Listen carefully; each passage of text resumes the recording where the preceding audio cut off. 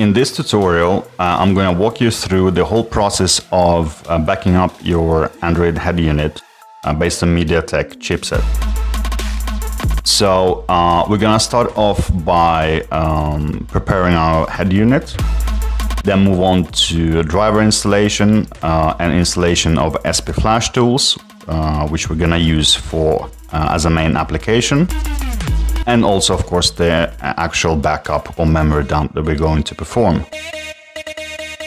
Before we begin, I'd like to recommend a very simple way of connecting your uh, Android head unit on your desktop at home um, rather than sitting in the car and doing everything.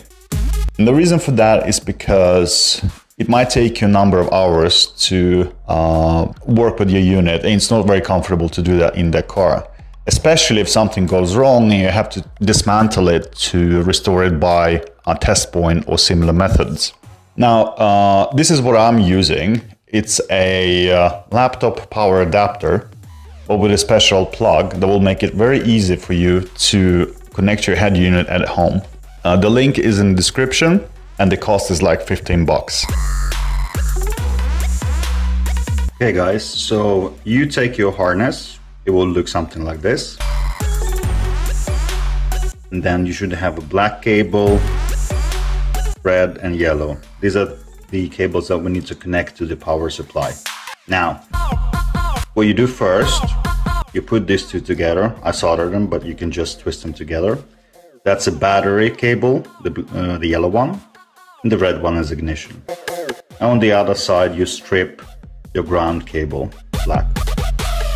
Now, after that's done, all you do is basically you put these two cables into a plus.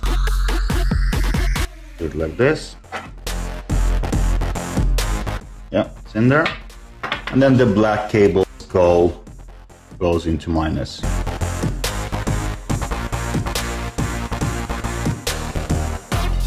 Like that. And then fasten the screw. No need to over fasten, just make sure it's tight. Perfect.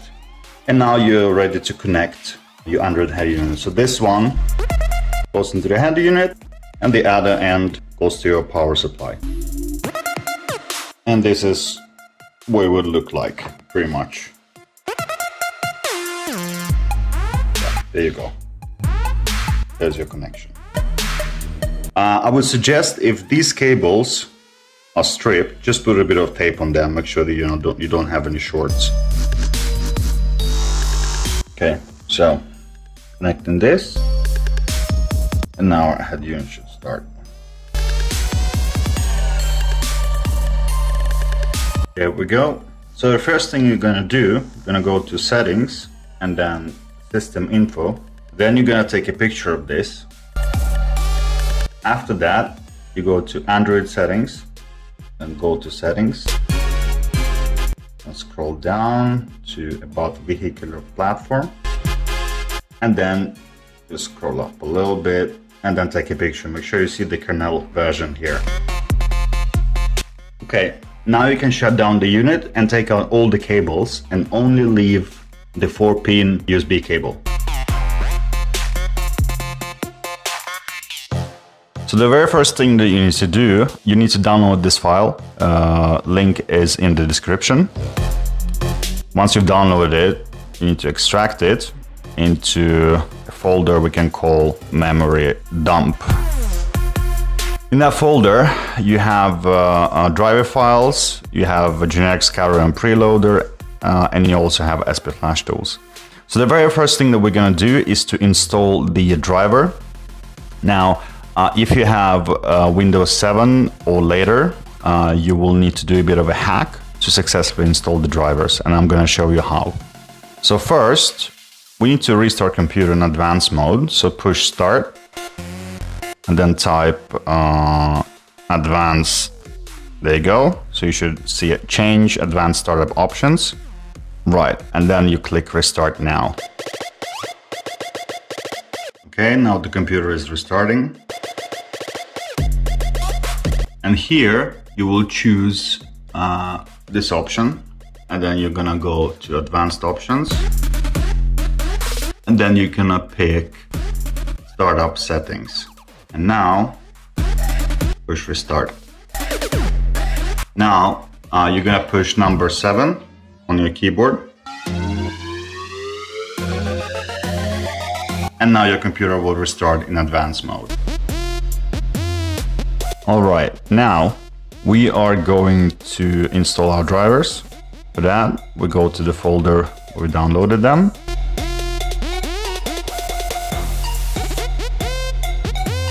MediaTek drivers. Right, here they are. So now you go to your uh, control panel, uh, device manager, and then you go to uh, add legacy hardware.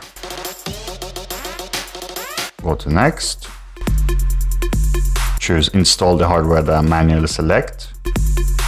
Next, show all devices. Next, have disk. And now we point towards the folder where we have our MediaTek drivers that should downloaded. In this case, it will be in downloads. There we go, MediaTek Windows 10 driver. Now, if you have Windows 64-bit, obviously you choose the top one, uh, x64 MTK, and of course if you have 32-bit Windows, you choose this one. So I have 64-bit uh, Windows, I'll be choosing that. Click OK.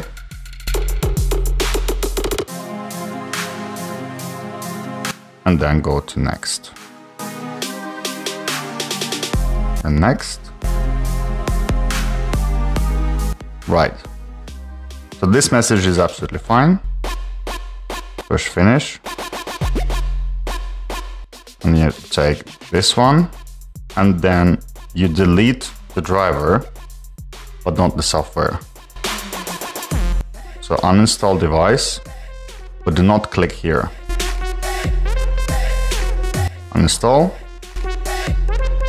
and you're done. And that concludes uh, the installation of the MediaTek driver. Now you can restart Windows and proceed with the installation of uh, SP Flash tools.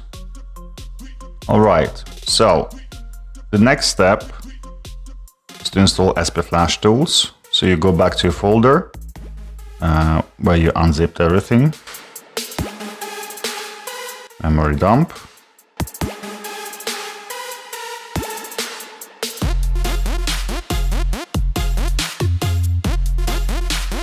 I would suggest that you do create uh, a, a, desktop shortcut by right-clicking on the Flash Tool XC file uh, and then going to um, send to and then choose create shortcut. Right. So that's done. Go back to memory uh, dump folder. And now we are going to open up Flash Tools by right clicking it and opening it as administrator. There we go. And then we're gonna point towards our scatter file. Uh, in the folder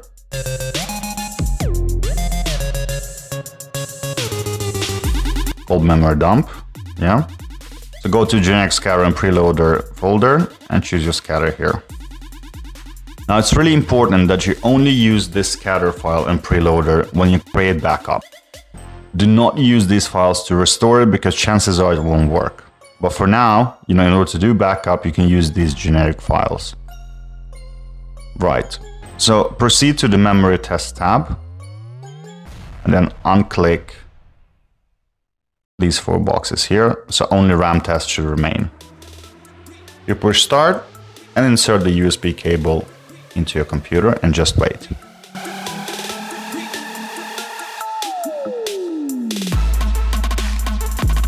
This is done. You can click this away, take out your cable, uh, go back to your folder and then uh, create a new text file or text document and call it memory map.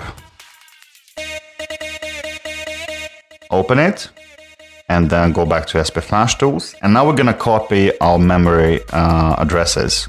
The first one is being eMMC part boot one. Just highlight it, push Control C or copy, go back to your text file and paste it. And the next row is gonna be eMMC part user. The same thing here. Highlight it, copy the text and put it here and click save. So these are our uh, memory regions, very important. And these are unique to your unit, by the way, so do save them. Now, the next step is uh, to create the memory dump. We're gonna exit Flash Tools and uh, then we're gonna restart it as administrator again. Go to readback file. If there's anything here, just delete it. Remove. And click add. And then double click here. And then navigate to your uh, memory dump folder. And here, change the file name to boot one and click save.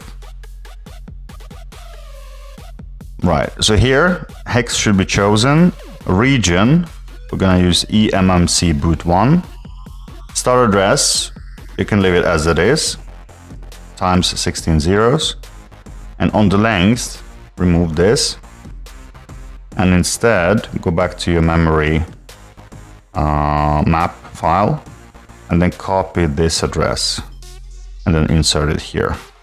Click OK, and then click read back, and insert the USB cable into your computer and just wait.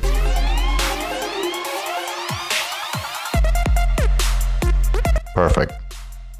Close this OK window, take out the USB cable, then go back to your folder and you can see boot1 file has been created. Now boot1 is very, very critical because it contains your preloader. The next and the final step uh, of the memory dump is to actually export all your other data from your unit. So first we're gonna close down Flash Tools. And then we're gonna restart it again as administrator.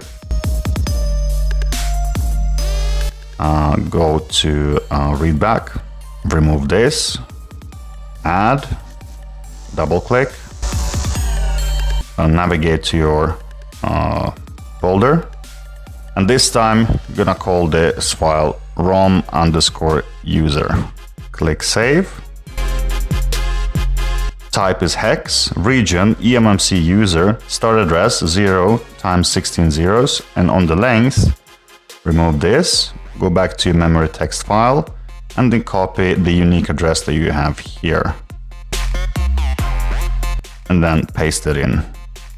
Click OK. Uh, click readback and insert your USB cable into your laptop or computer, whatever you have. Now this process is much longer. It will take anything between 30 and 60 minutes. So I'm gonna speed up this process and we're gonna continue in a short moment.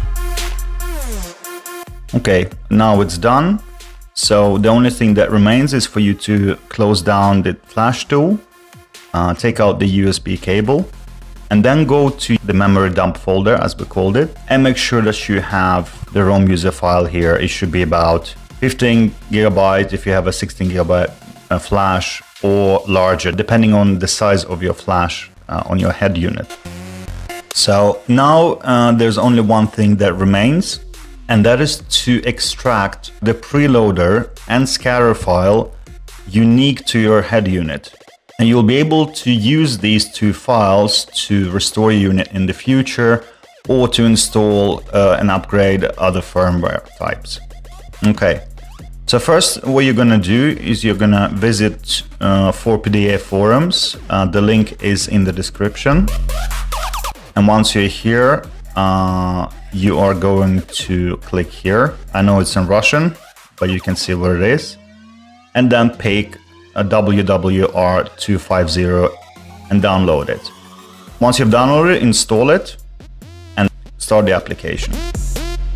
If you have an unpaid version, then you will see this advertisement now and then. Uh, but do please support the developer. I think it's only about ten dollars. So uh, you know, I highly recommend to support the developer for this piece of software.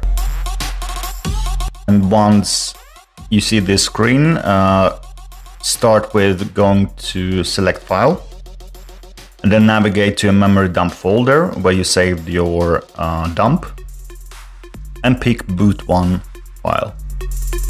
You probably want this to look exactly like on my screen. So head on to setting and then tabs and then pick second variant. That way you will have the exactly the same user interface as you see here. Now, we're gonna head on to auto mode and then pick number three, which is start uh, autopilot. There we go, nothing to do here, start the process. And there we go. Now, the first thing that we're gonna do is to create our scatter file. So you choose create scatter file option here. Then you make sure you are in your memory dump folder. Then we're gonna create a new folder called my scatter and preloader. There we go. Enter that folder. Click select folder. And now the process is completed and you have your scatter file here. Right. So uh, we need to make one change to the scatter file so that you don't receive DRAM errors when you try to use it for um, importing files or installing firmware. So first, we're gonna create a copy of this scatter file. Just push Control C and then Control V. And then we're gonna call this file, we're gonna rename it to scatter.txt.bak.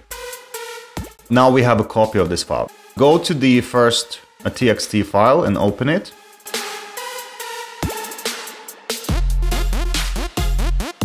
Then we're gonna make a search, push Control F and type data. And this is going to bring you to the partition index section. Now we go back to the website for WWRMTK, scroll down a little bit, and then you see this section. Copy the value here, which is 0 times C, and then followed by seven zeros. So you copy that value, uh, go back to your scatter file, and then you look at the partition size line. Now delete the value here, and then paste the new value. Don't forget to save, and close. And now the creation of your scatter file is completed. Right, so going back to our uh, WWR tool, the next step is to create a preloader. We're actually going to do that by selecting collect firmware for a hard reset. When this opens, we're going to create a new folder called hard reset. We're to select it and the process starts. Right. Now it's done and uh, automatically the hard reset folder will open. Now here you have a number of files. We can delete the scatter file here. We don't need it. The rest we keep. And here you will see your preloader. So copy your preloader, Control C, and then paste it in here.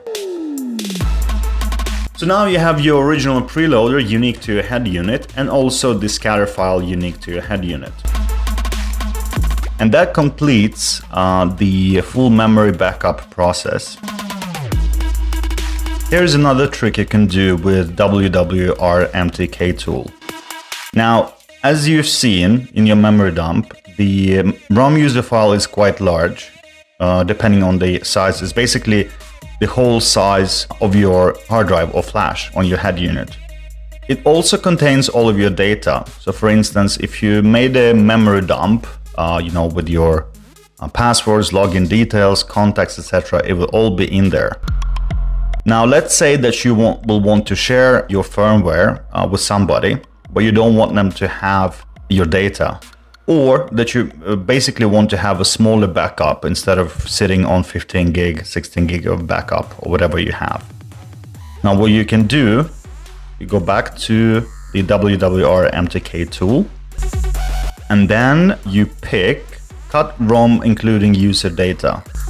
Uh, wait for the advertisement to end and then create a new folder called my firmware or something. Enter the folder, click select folder, and then wait for the process to finish. And this will take a few minutes, depending on how large your memory dump is.